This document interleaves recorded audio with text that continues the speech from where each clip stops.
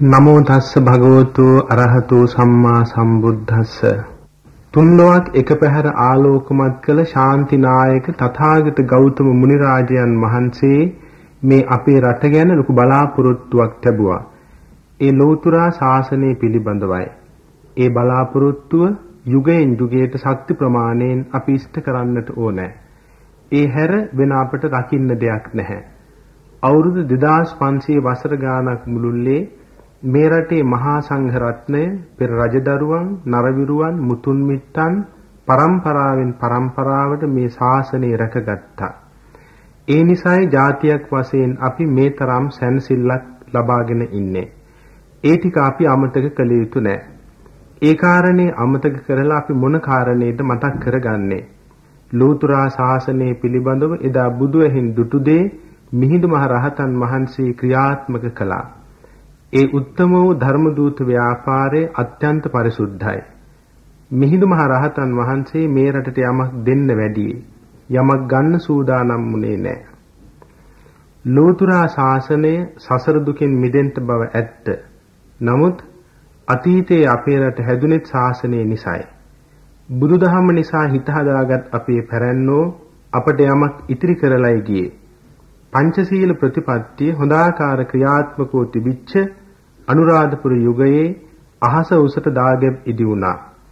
මහා ගල් පරුවත තුලින් සීල සමාධි ගුණ කැවුණු පිළිම වහන්සේලා ඉදි වුණා. ගලින් ගලන බුදු ගුණ මහමෙවුනාවෙන් මොනතරම් සැනසුමක්ද අදත් විහිදෙන්නේ. බුදුරජාණන් වහන්සේගේ ධර්මයේ 2500 වසරක් ගත වුණත් ඒ අකාලිකව නොවෙනස්ව පවතින්නේ අපේ රටේ. තේරවාදී බුද්ධ ධර්මයේ ධර්ම භාණ්ඩාගාරය මේ අපේ ලංකාවයි. ලෝකයේ විවිධ රටවල බොහෝ දෙනා අපේ රටට ගෞරව කරන්නේ මේ නිර්මල බුද්ධ ධර්මයේ නිසයි. වෙන බොන දෙයකටද හැමදාම සිහි කරලා ආශිර්වාද ලබා ගන්න පුළුවන් වස්තු අපේ රටේ තිබෙනවා. මේ අපේ දිවයිනේ බුදුරජාණන් වහන්සේගේ අකු ධාතු, කේශ ධාතු, ග්‍රීවා ධාතු, ලලාට ධාතු, ඌර්ණ රෝම ධාතු, දන්ත ධාතු මේ කියන අතිපරිසුද්ධ ශාරීරික ධාතුන් වහන්සේලාගෙන් වැඩි කොටසක් අපේ රටේ.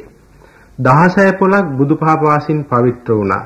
ඒ සොළොස් මස්ථාන මේ රටට ලොකු ආශිර්වාදයක්. ඒ බව අපි අමතක කළ යුතු නැහැ. බුදු බල, බුදු තෙද, බුදු අනුහස, බුද්ධානුභාව බලේ අපේ රටට ඇති එකම පිහිට බව සිහි කළ යුතුයි.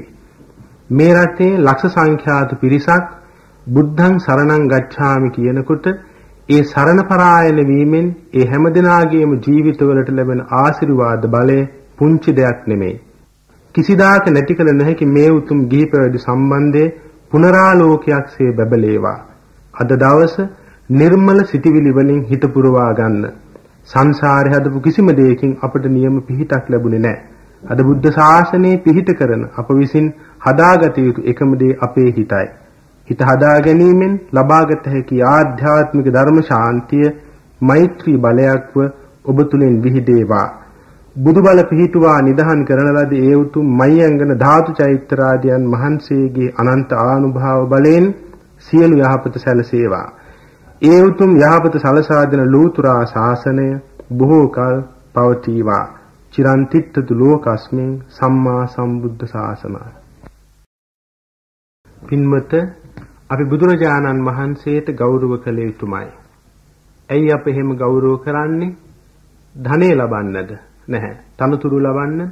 ඒත් නැහැ. එහෙනම් මොන වාසියක් ලබන්නද? ඒ කිසිවක් බලාගෙන නෙමෙයි. එහෙනම් මේ තරම් මහන්සි වෙලා ගෞරව පූජා පවත්වන්නේ මෙන්න මේකයි.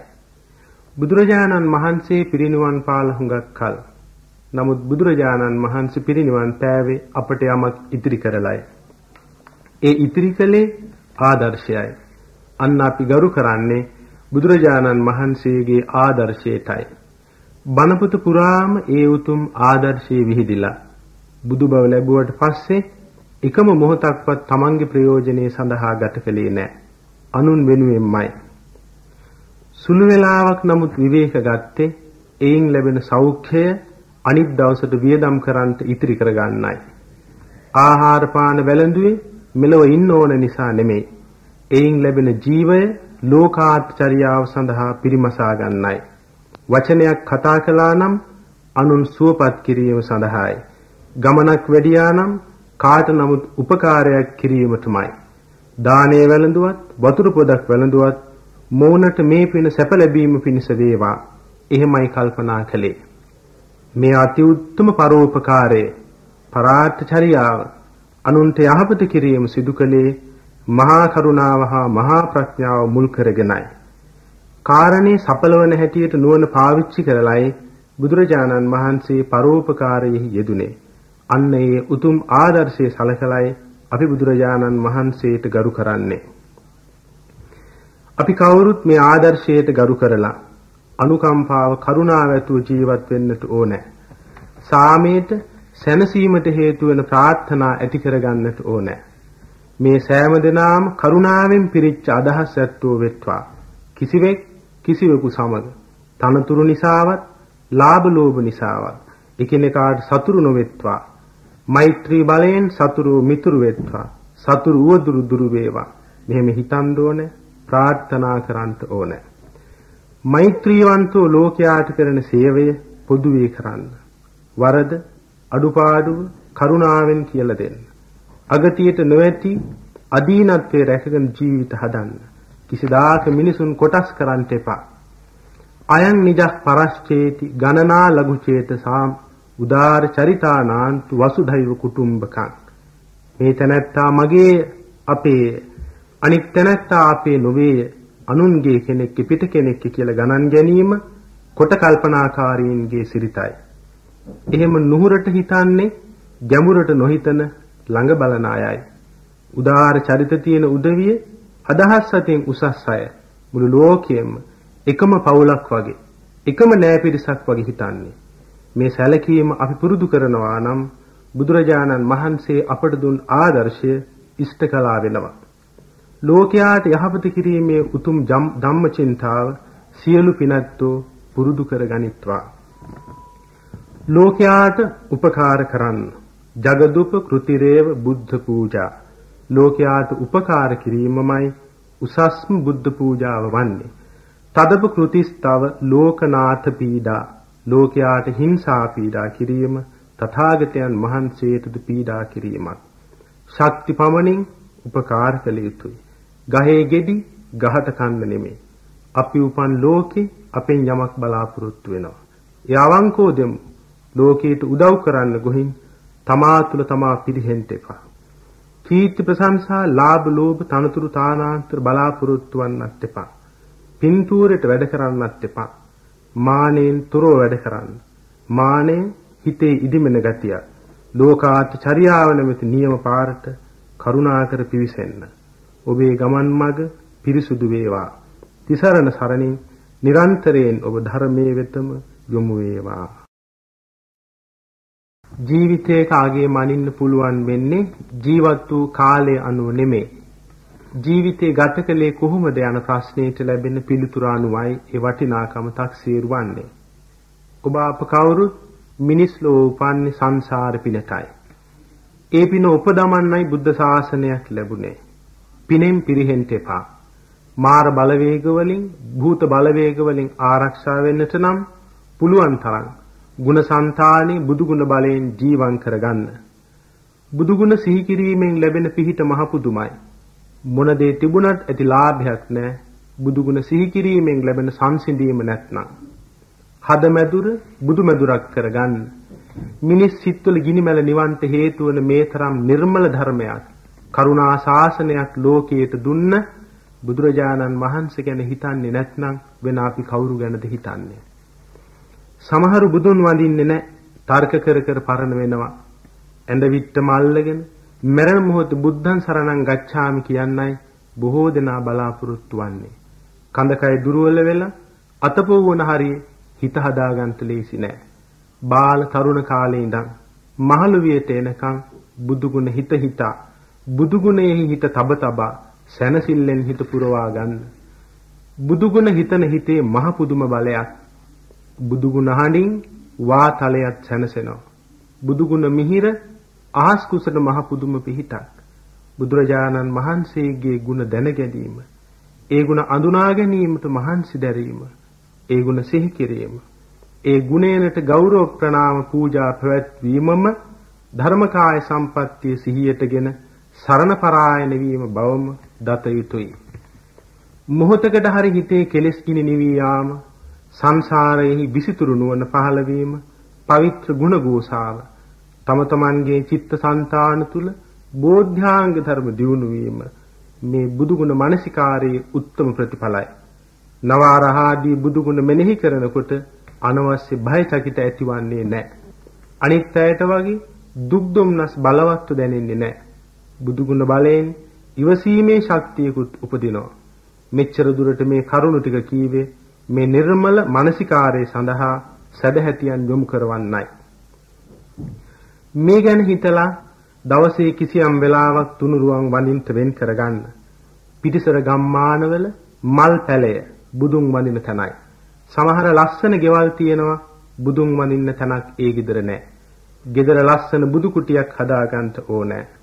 බැලු බැලු හැම පැත්තෙම විහාරයේ විසිදුරු කරගන්න බුදු පිළිම වහන්සේ අභියස මල් පහන් සුවඳ දුම් පුදන්න. මේ මල් පූජාවෙන් හිත පිරිසිදු වේවා. පහන් පූජාවෙන් මෝහාන්ධකාරයේ දුරු වේවා. සුවඳ දුම් පූජාවෙන් කරුණා මෛත්‍රී ගුණ සුවඳ ඇති වේවා. සිසිල් පෙන් පූජාවෙන් සැනසෙල්ල වේවා. බුදු ගුණ මෙනෙහි කර කර එහෙම හිතන්න. ඔබ බුදුරජාණන් වහන්සේට හුඟක් සමීපව ඉන්නා බව එතකොට දැනේවි. ලෝතුරා බුදුරජාණන් වහන්සේගේ බුද්ධ ගුණ ඒකාන්තයෙන් සත්‍යයි විද්‍යමානයි මහානුභාව සම්පන්නයි. කෙල ලක්ෂයක් සක්වල ආඥා පැතිර පවතින සුළුයි. බුදු ගුණ ඉක්ම යාමට සමත් වෙන කිසිම බලයක් ලෝකෙ කොහෙවත් නැහැ. බුද්ධ ගුණ සත්‍ය බවට බුද්ධ රත්නයේම සාක්ෂි. අනන්ත බුදු ගුණ ඇතිතාක් සියල්ල එක්තැන් වූයේ මේ නවරහාදී බුදු ගුණ පාඨයේමයි. මෙසේ බුදු ගුණ මෙනෙහි කිරීමෙන් ලබන බුද්ධාලම්බන ප්‍රීතිය ඔබට සියලු සැනසීම ලබා දෙනවා සත්‍යයි. මෙසේ බුදුගුණ සිතා බුදුගුණ බුදුගුණ බලයෙන් මෙත් වඩන්ට මාරස් කරගත් මේ සියලු පින් සියලු දෙනාටම සියලු සැනසෙල්ල පිණිස පවතිවා. මේ පින් බලයෙන් මෝනගේ සිත් සතන් ලෝතුරා ශාසනය වෙත යොමු වේවා. දුක් දුම්නස් කරදර වලින් තොරව සැනසille ජීවත් වීමට සියලු දෙනාටම ලැබේවා. සම්බුදු සරණින් සුවපත් වේවා. අන්න ඒ විදිහට හිතන්න. මෛත්‍රී හිතේ මහ පුදුම බලයක් තියෙනවා. මේ විදිහට පිළිපැදලා බලන්න.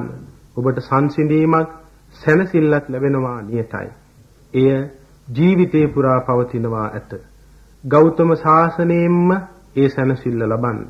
පාරමී කුසල් සම්පූර්ණ නැත්නම් නාගශ්‍රී බෝධිද්‍රුම රාජානන් වහන්සේ දක්වා ඔබේ සැනසෙල්ල ආරක්ෂා වේවා. සතන් සමාගමෝ හෝතු යාව නිබ්බානපත්තිය ඕනෑම කෙනෙකුට සමාජයෙන් ලැබෙන ලොකුම වරප්‍රසාදේ තමයි ලෝකයාගේ අවධානය ලැබීම. එය එහි වටිනාකම රැකෙන හැටියට පරිහරණය කළොත් ඒ නිසා ලබාගත හැකි පින අනන්තයි අප්‍රමාණයි. අපි කොයි කාටත් ලැබී තිබෙන ඒ වාසනාවෙන් ලෝකෙට යහපතක් සලස්වන්ට ඕනෑ. සැබවින්ම ඒ අවංකවම කළ යුතුයි. යට හංගපු බලාපොරොත්තු තියාගෙන සමාජයට සේවයක් කරන්නට බෑ. කරන්නට පුළුවන් හොඳ සේවයක් තමයි නොමගට ගිය උදවිය යහමගට ගන්න එක. අපරාධ දාමරික ක්‍රියා වැරදි වැඩ කරන උදවිය ඒ නිසාම ඕන් වැටෙන අවාසනාවන්ත තත්වය ගැන සලකා ඕන් මේ ආගාධයෙන් මුදවමි ඕන් යහමගට පත් කරවමි යන සිතවිල්ල තරයේම ධාරණය කරගෙන අපි එවැනි අසරණවන්තයින්ට පිහිට වෙන්න ඕනේ. කරුණාවෙන් මගට බැහැලා මෛත්‍රියෙන් ඔවුන් අරමුණු කොට සුවපත් වේවා යන අදහසින් ක්‍රියා කළොත් නොමගට ගිය අය සුමගට එනවාමයි. ಗುಣධර්මවල මහ පුදුම බලයක් තියෙන්නේ. එයින් මේ රට සනසන්න පුළුවන්. හදන්න බැරි තරමටම නරක වෙච්ච ගතියක් මේ ජන සමාජ හැම පළාතකම නැහැ. නිවිගෙන යන පහනට තෙල් දමනවා වගේ පුළු පුළුවන් තරමටවත් මහන්සි වුණොත් හුඟක් ප්‍රයෝජනයි පින් සිද්ධ වෙනවා. නොඑක් පලාත්වල ගමන් ගනිද්දි ප්‍රකටව පේන්න තියෙන දුර්ගුණ අතර සුරාපානේ, දුම්බීම, රේසූදුව හා මත්ද්‍රව්‍ය භාවිතයේ ප්‍රධානයි. ඉනුත් හුඟක් ලොකු විපත්තියක් සුරාපානයේ නිසා Tamanta හා අනුන්ට මත්පැන් බොන අයට අපි කරුණාවෙන් කතා කරන්න බලමු. ඔහුට අවබෝධයක් ලබා දීමයි අවශ්‍ය වන්නේ. ආදීනව හිතට වැදුනහම නවත්තයි. ඔබ මත්පැන් බොන්න එපා. තමන්ට තමන් පාඩු කරගන්නේ මොකටද? තම පවුලේ සමාජිකයින්ට පාඩුවන්නේ මත්පැන් නිසා. මත්පැන් නිසා උපදින ශාරීරික පරිහානිය ඇටකඩු දිරායන තරමේ බරපතලයි. තොලකට වේලිලා, රතු වෙච්ච ඇස් යටගිලිලා, ඇඟපත දිරා ගොහින් දෑත් දෙපය උරහන් දි รา ගොහින් සමහරු අනිවාර්යතී මෙරිලා යන බව පේනවා. ලේ ධාතුව විසවීම නිසා මුලේ ක්‍රියාකාරීත්වයේද අබලන්. මත්පැන් බොන සමහර තාත්තලගේ පුත්තු මන්ද බුද්ධිකයි. බාලාපරාධ හා දාමරික ක්‍රියාවලටත් පෙළඹෙන සිද්ධි වාර්තා වූ තැන් එමටයි. දරුවන්ට ආදරේ නම් මත්පැන් බීම නවත්තන්න. මොන තරමක තරාතිරමක හිටියත් මත්පැන් බොන තැනැත්තා ඕන කෙනෙකුට අල්ලන්න පුළුවන්. හොඳ සිහියෙන් වැරදි වැඩ කරන්න බෑ. ඒ නිසා මත්පැන් බීලා සිහිය නරක කරගෙන ලැජ්ජ බය නැති කරගෙන වැරදි වැඩ කරන බව පේනවා. මත්පැන් නැත්නම් උත්සවයක් නෙමෙයි කියන තැනට අනේ මේ ජීවිත පිරිහුණානේ. බාල પરම්පරාවට අපේ සමහර වැඩිහිටියෝ දෙන ආදර්ශය මොකක්ද? ජන සමාජයේ තැනකට එන්න එන්න අපි ආදර්ශය හා උපදේශය දෙන්න ඕනේ. ඒ කාරණේ මේ කවුරු කවුරුත් හිතට ගත්තොත් හොඳයි. සෙනෙහබර අම්මා පුතාට කිරි දුන්නේ සෙනෙහසින්. රත්තරම් පුතේ මේ කිරිබි නුඹ බොහෝ කාලයක් ජීවත් වේවා යන අදහසින් එදා කිරිබිව් කටින් මේ රත්තරම් පුතා මත්පැන් බොනකොට මේ යකඩ පුතා නිසා ලේ කිරි කරලා දුන් අම්මා මොනතරම් දුකක්ද විඳින්නේ මව් සෙනෙහස අඳුනන පුතෙකුට කිසිදාක මත්පැන් බොන්න බෑ මත්පැනට ඔබ පුරුදු වී ඇත්නම් අද ඉඳලා හිතලා බලලා පමා නැතුව මත්පැනෙන් අයින් වෙන්න මත්පැනෙන් ඔබ අයින් වුණොත් දරු පවුලක්ම සැනසෙනවා. ඔබ හොඳ වුණ දා ඉඳලා හොඳ ගුණ වැඩෙනවා. එතකොට සැනසෙල්ලෙන් ඔබේ හිත පිරීලා ඉතිරිලා යාවි. ඒ අතර ඊට කලින් ගමට නගරයට බැහැලා බුදු ගුණ කියමු. බණ දහම් දෙසමු. මේ සියල්ල අතරින් හිත හැදේවි. හිතට වරද වැටහුනොත් මත්තන අහලකවත් නැහැ. වරද අවබෝධ වේවා. තුනුරුවන් සරණින් ඔබ නිරන්තරයෙන් ධර්මයටම යොමු වේවා